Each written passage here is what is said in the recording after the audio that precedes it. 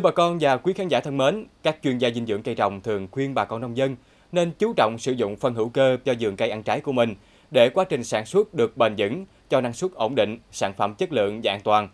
Tuy hiện nay có nhiều nhà vườn đã ý thức được điều này, nhưng đa phần bà con chưa biết cách sử dụng phân hữu cơ thế nào cho hiệu quả và kinh tế. Một số bà con chọn mua phân hữu cơ được sản xuất công nghiệp, một số bà con lại bón trực tiếp nguồn phân gia súc gia cầm vào vườn cây hay tiến bộ hơn là có ủ phân hữu cơ nhưng chưa kết hợp phân chuồng với xác bã thực vật để tạo ra sản phẩm phân bón chất lượng cao. Hơn nữa, việc sử dụng cần được lưu ý để phân hữu cơ có thể phát huy tối đa tác dụng. Trong chương trình khoa học nông nghiệp kỳ này, chúng tôi sẽ giới thiệu đến bà con những ưu điểm của loại phân này cũng như kỹ thuật ủ phân hữu cơ tại nhà, giúp bà con tiết kiệm được chi phí đầu tư, giúp vườn cây khỏe mạnh, năng suất cao. Mời bà con và các bạn cùng theo dõi.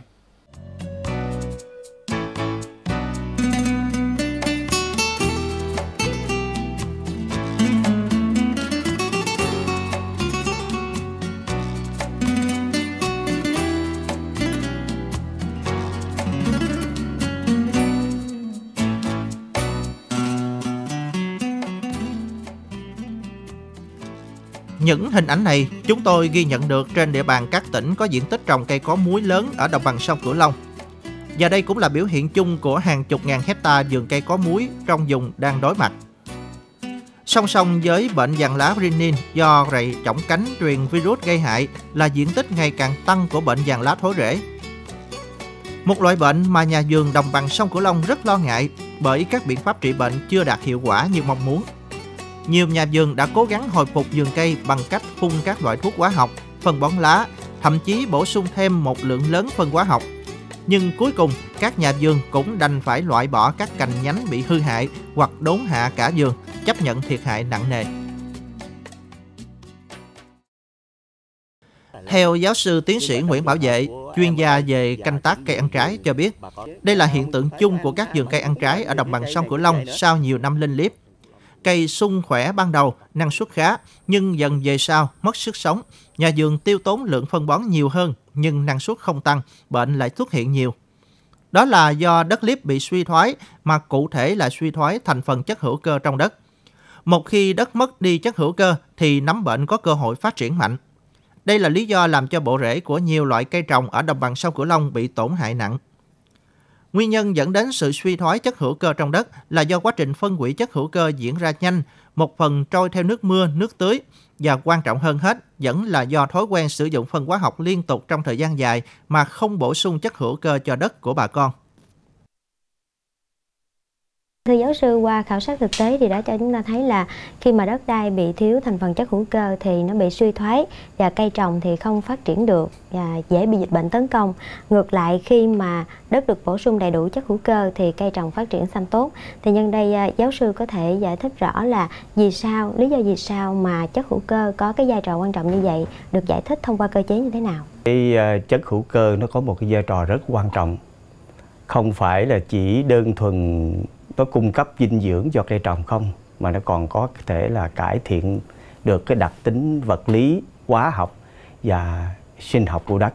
Thì ở đây á, nếu mà cái đất mà có chất hữu cơ thì chúng ta thấy chẳng hạn như cái hình ở đây á, cho thấy là cái chất hữu cơ mình khi mà nó ờ, phân hủy á, mình nó cho ra một cái chất người ta gọi là keo, nó gọi là keo mùng. Thì cái keo này nó sẽ liên kết các cái hạt đất lại với nhau để mà nó tạo ra những cái lỗ rỗng này đây. Mà đất mà có nhiều hữu cơ nó tạo ra được nhiều lỗ rỗng như vậy thì đất nó trở nên tơi xốp. Nên cái bộ rễ của cái cây trồng á, nó sẽ phát triển dễ dàng hơn và nó lấy được nhiều không khí ở trong đất để mà nó phát triển. Và đồng thời chính những cái lỗ rỗng này khi bà con mình tưới nước á, thì nước nó mới ngấm vô trong đó. Vì vậy là nó mới thấm xuống sâu được nên nó giữ nước được ừ, nhiều hơn thì như vậy rõ ràng là nó có cải thiện được cái đặc tính vật lý của đất. Thì cái đấy là nãy giờ tôi trình bày đó là cái độ phì về mặt vật lý của đất. Còn bây giờ về mặt độ phì về mặt hóa học thì chúng ta biết rằng cái mùng hữu cơ này á, thì nó có một cái cái điện tích âm. Nên khi mà các cái phân hóa học mà chúng ta bón vào một cái điện tích dương chẳng hạn như kali nè amon nè rồi canxi nè rồi magie rồi à, sắt đồng kẽm mangan thì như vậy là chính nhờ cái keo mùng mà có điện tích âm này nó sẽ giữ các cái chất dinh dưỡng của điện tích tích dương lại. Nếu mà chúng ta bón được cái phân hữu cơ vào trong đất thì cái mùng hữu cơ này nó sẽ là mình tạm gọi nó cũng như là một cái kho vậy đó để mà nó giữ cái um, cái phân hóa học. Nên chúng ta sẽ giảm đi cái lượng phân hóa học bị mất mát.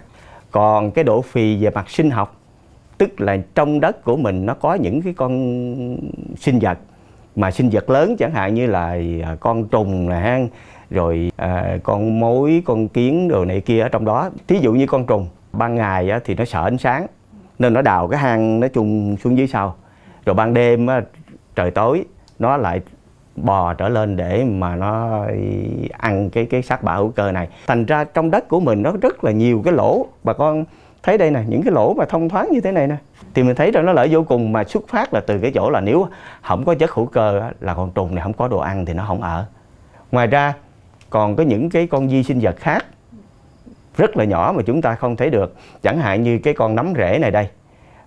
Bà con có thể thấy là cái con nấm rễ này bên này á, thì không có nấm rễ thì một cái rễ cây nó dài như thế này thì nó có được mấy cái rễ lông hút. Cái cây thay vì chỉ có ba cái rễ lông hút như thế này để mà lấy dinh dưỡng chung quanh một cái vùng rất là hẹp như thế này đây, thì bây giờ các cái cái cái cái cái sợi nấm này nó mọc dài, nó lan dài ra như thế này nên nó đi rất xa để nó lấy dinh dưỡng.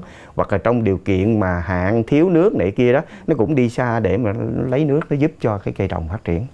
Ngoài ra cái chất hữu cơ nó còn có một cái lợi là bởi vì ở trong đất, nếu mà như mà có chất hữu cơ thì cái hệ vi sinh vật mà phân hủy chất hữu cơ này tức là những cái con nấm như là trichoderma ở đây á nó phát triển rất là mạnh. Mà khi nó phát triển nhiều hơn á thì nó có cái lợi là nó sẽ tiết ra những cái chất mà để chống lại cái nấm bệnh. Chẳng hạn như trong cái cái hình đây mình thấy là cái nấm bệnh là cái cái cái cái sợi lớn dài này, này đây. Con nấm trico á là cái sợi nhỏ này đây.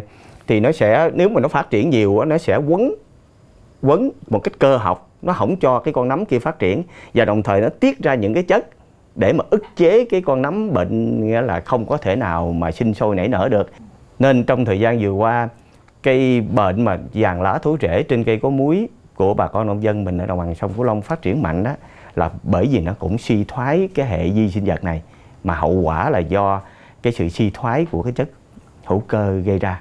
Giáo sư tiến sĩ Nguyễn Bảo Vệ cũng nhấn mạnh rằng ngoài việc cung cấp các thành phần đa trung vi lượng cần thiết cho cây trồng thì phân hữu cơ còn có những thành phần tương tự như chất điều hòa sinh trưởng.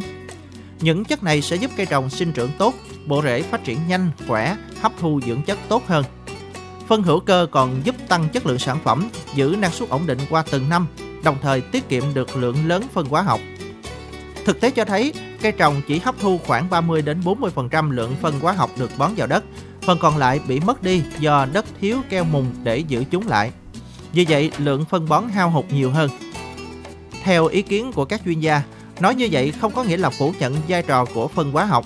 Bà con cần kết hợp sử dụng phân hữu cơ và phân hóa học vào vườn cây hợp lý để đạt năng suất cao, cho trái bền, cây khỏe, ít bệnh hại. Trong thực tế sản xuất, nhiều nhà vườn đã biết lợi ích của phân hữu cơ và biết sử dụng chúng trong chăm sóc vườn cây ăn trái của mình. Tuy nhiên, việc sử dụng của đa số bà con còn nhiều hạn chế, chưa phát huy được hiệu quả của phân hữu cơ. Khác với phân bón vô cơ, phân hữu cơ cần được sử dụng với số lượng lớn, từ vài tấn đến hàng chục tấn trên một hecta. Càng nhiều hữu cơ thì càng tốt, không ảnh hưởng đến sức khỏe cây trồng. Chính vì vậy, nếu bà con sử dụng sản phẩm phân hữu cơ công nghiệp thì chi phí sẽ tăng cao, dẫn đến dùng ít, hiệu quả cải tạo đất vườn sẽ không như mong muốn. Để tiết kiệm hơn, nhiều nhà vườn sử dụng phân chuồng như phân gà, phân bò từ các trại chăn nuôi, nhưng bà con lại rải trực tiếp phân chuồng vào vườn cây, không qua công đoạn ủ quai. Việc làm này chẳng những gây ô nhiễm môi trường sống mà còn phát tán hạt cỏ dại cũng như mầm bệnh từ phân chuồng ra bên ngoài đất vườn sẽ gây hại cho cây trồng. Chưa hết, nếu bà con sử dụng phân tươi thì quá trình phân hủy phân chuồng tươi sẽ tạo nhiệt độ cao gây tổn hại rễ cây.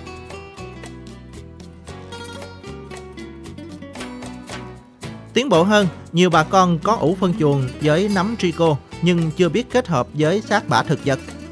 Theo giáo sư tiến sĩ Nguyễn Bảo Vệ, đây lại là điểm chưa hay của những nhà nông này. Bởi nếu chỉ ủ phân gia súc gia cầm thì chất lượng phân hữu cơ làm ra chưa đạt yêu cầu do thiếu chất xơ từ xác bã thực vật. Nó là thành phần giúp quá trình phân hủy chất hữu cơ diễn ra tốt hơn và còn giúp tăng kích thước đóng ủ, giảm được chi phí mua phân chuồng. Trong khi đó, nguồn xác bã thực vật từ sản xuất nông nghiệp là rất lớn, rất đa dạng, như rơm rạ, sơ dừa, cỏ khô, vỏ ca cao. Tùy điều kiện thực tế mà bà con có thể chọn cho mình loại xác bã vừa rẻ vừa dễ tìm để ủ phân hữu cơ.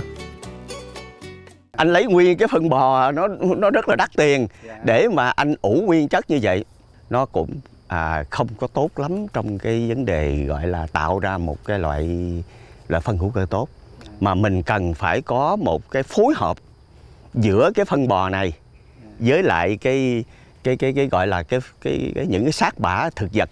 Thì cái nguồn vật liệu mà để ủ chung lại với phân bò ở đây đó thì à, như tôi nói thì sẽ tùy thuộc vào à, bà con nông dân của mình thôi. Chẳng hạn như mình có nhiều ruộng lúa liệu là rơm rạ đây là ưu tiên số 1 tỷ lệ giữa rơm và cái phân bò là hai rơm một phân bò đây tôi khuyến cáo là cái kích thước đóng ủ của mình cũng không cần lớn quá. Một thước chiều này một thước vuông chiều này và cao một thước tới một thước năm là coi như là người ta đã nghiên cứu. Nó đạt cả về mặt gọi là cái nhiệt độ tỏa ra cả về mặt oxy để mà vô tới ở trong ruột của cái cái cái đống ủ. Bây giờ cái cách làm mình như thế này. Trước tiên là anh lót ở bên dưới cây rơm á một lớp vào khoảng cỡ chừng một tấc. Sau đó rồi anh cho cái phân bò lên vào khoảng cỡ chừng 5 phân. À, dùng cái nấm trichoderma đó anh theo như cái hướng dẫn của cái nhà sản xuất để mà mình tưới cho nó thấm đều cái lớp cái lớp này. Xong rồi anh lặp lại như vậy à, cái lớp thứ hai. Thì anh cứ chất hoài chất hoài chất hoài như thế này lên tới khi mà đạt cái chiều cao mà anh như anh tính. Có thể là bà con làm cho nó đạt ngang cái đầu người mình cũng được tức là khoảng cỡ chừng một thước năm. Nói chung là trên một thước là là đạt rồi nhưng mà khi lên tới bên trên rồi đó mình dùng một cái tấm ni lông phủ ở bên trên. Thì cái ni lông này nó cũng có cái hay ở cái chỗ là nó vừa là che mưa nhưng đồng thời nó cũng giữ nhiệt. Để yên như vậy là khoảng cỡ chừng 4 à, ngày. Anh thạch để bao lâu? Anh để yên á. khoảng 15 ngày. 15 ngày. Ở đây anh thạch như vậy là sau 15 ngày ảnh mới đảo. Và sau đó là nhiều khi anh đảo một lần một cái rồi anh bỏ luôn cho tới 3 tháng anh đem ra xài. Thì bây giờ cái cách ủ như tôi nói đó người ta chỉ cần có 18 ngày tức là khoảng 3 tuần là xong rồi thạch nhưng mà cái vấn đề đảo á, là bà con mình phải làm thường xuyên. Sau 4 ngày thì mình mới bắt đầu đảo. Bởi vì khi mà sau khi mà anh ủ cái phân như thế này rồi á, thì sau khoảng cái chừng 2 ngày thì anh thấy là nhiệt độ nó lên rất là cao. Cái con vi sinh vật như vậy là nó nó nó nó nó nó phát triển rất là khỏe. Nên lúc đó anh phải dỡ cái đống ủ ra để mà anh đảo. Đảo là nhằm hai cái mục tiêu. Một á, là để mình kiểm soát nhiệt độ. Bởi vì nếu không á, thì nhiệt độ mà nó lên cao quá thì nó giết cái con vi sinh vật. Lúc đó cái đống mũ của anh nó sẽ nguội trở lại mà nó không có mục được rơm không mục được phân bò. Ở đây được khuyến cáo là cứ hai ngày đảo một lần. Thì như vậy là anh chỉ cần đảo khoảng cỡ chừng 7 lần tức là 14 ngày cộng với 4 ngày đầu nữa là 18 ngày là người ta đã thấy là phân đó là anh đem ra xài được rồi. Chưa kể về quan điểm khoa học có lợi cho cây trồng hay về mặt lợi ích kinh tế hoặc tính bền vững đối với môi trường, việc tự ủ phân hữu cơ còn cho phép tận dụng nguồn phế phẩm nông nghiệp. Đó cũng là lời khuyên của các chuyên gia để tạo ra lượng phân hữu cơ đủ lớn, chất lượng nhằm cải tạo đất vườn, hạn chế bệnh hại, tiết kiệm phân bón. làm ra được sản phẩm phân bón tốt nhưng sử dụng như thế nào để đạt kết quả tốt lại là một vấn đề.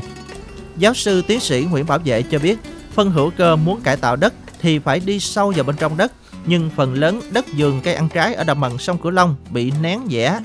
Khi phân hữu cơ được bón trên bề mặt sẽ dễ trôi đi do mưa hoặc nước tưới. Do vậy, bà con nên chú ý những điểm sau khi sử dụng phân hữu cơ. Dùng cuốc răng cưa tới đất phá dán nhẹ trên bề mặt trước khi bón phân hoặc đào học sâu khoảng 3 đến 4 tấc một bên tán cây, bón phân vào rồi lấp đất lại. Vụ tới làm học khác, bên kia tán. Cứ như vậy phân hữu cơ sẽ tuốn được tầng đất bên dưới. Ngoài ra, bà con còn có thể tìm trùng đất đưa vào vườn cây. Khi chúng di chuyển để lấy thức ăn sẽ tạo hang rãnh. Thông qua đó, phân hữu cơ được phân phối vào sâu bên trong đất bà con nên hạn chế sử dụng thuốc sát trùng vào đất để tránh tiêu diệt trùng đất cũng như các vi sinh vật có lợi. Với những vật liệu được tạo ra từ quá trình chăn nuôi trồng trọt, bà con nông dân hoàn toàn có thể tự mình tạo ra nguồn phân bón hữu cơ đạt chất lượng kinh tế. Không đơn thuần là nguồn cung cấp dinh dưỡng mà nó còn giữ vai trò quan trọng trong việc cải thiện độ phì nhiêu của đất, giúp bà con giảm chi phí phân hóa học cũng như thuốc bảo vệ thực vật.